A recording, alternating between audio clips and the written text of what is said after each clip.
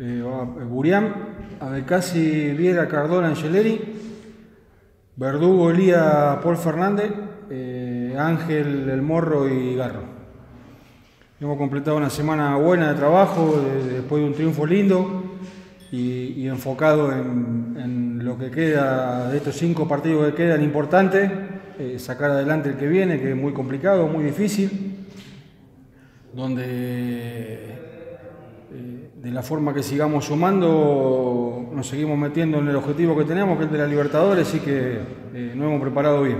Una semana linda en, en general para el club, para el club, para, para la gente, creo que se ha, se ha disfrutado mucho, pero hasta ahora es solamente número y estadística, no nos alcanza para nada.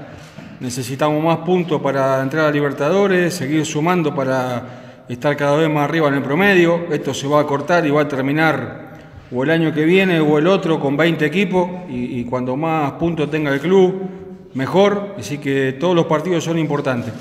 Lo de la goleada, hermoso, lo disfrutamos, pero ya estamos enfocados en, en el partido difícil de mañana. Eh, le ha dado pelea a todo, le, le empató a Lanús en la última jugada y eso significa que hasta el último segundo se van a tirar de cabeza.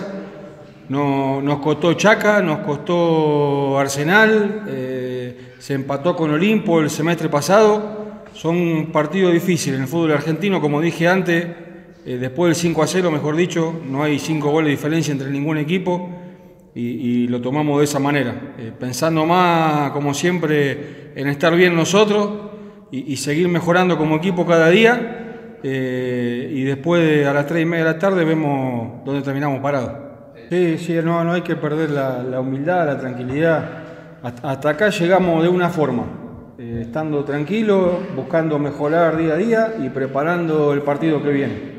Si, como les dije mil veces, si bajás un poquitito y te pensás que, que sos otra cosa y empezás a cancherear y a hacer cosas raras, perdés con cualquiera en el fútbol argentino. Entonces hay que mantener lo que nos trajo hasta acá, hasta esta posición. Si nosotros mantenemos eso y seguimos buscando una mejoría en el equipo, seguramente sigamos creciendo.